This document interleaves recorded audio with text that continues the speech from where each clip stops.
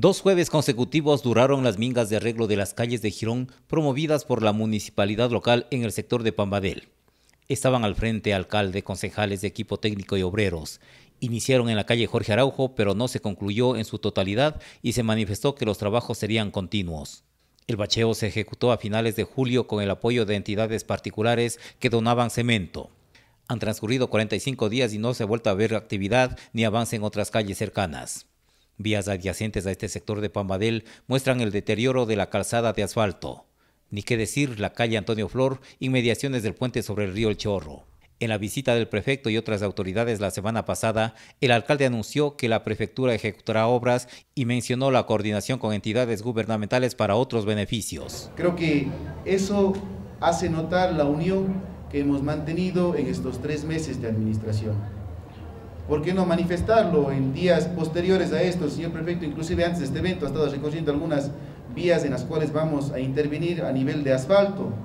Estamos conversando con algunos otros proyectos que también estamos tratando de mejorar las vías o los accesos viales a las instituciones educativas en donde tienen eh, niños con discapacidad. Hemos presentado proyectos también al MIES con la señora gobernadora, ha sido nuestra mediadora, sobre todo nuestra, nuestra, nuestro canal principal para poder llegar a muchas autoridades a nivel nacional. El prefecto Lloret ratificó el compromiso a cumplirse este año sin indicar qué calles serán intervenidas ni dio detalles aduciendo que la reunión de aquel día no era de carácter político. en el ámbito local, cantonal, aprovecho para decirle al, noble pueblo de Girón que conjuntamente con su alcalde vamos a llevar adelante en las próximas semanas obras muy importantes dentro del cantón para poder reconstruir algunas de las calles principales eh, sobre todo con asfalto, y poder nuevamente tener, digamos, en condiciones adecuadas al cantón.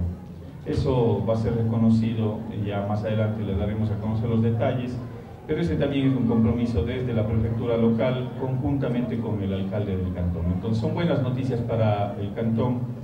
No quiero aprovechar este espacio para hacer público ese, todo el detalle, pero son algunas calles y avenidas del cantón que vamos a intervenir en este mismo año para poder reconstruir esas calles que estaban con algunos agujeros, algunos huecos y esperamos dejarles nuevamente a nivel de asfalto.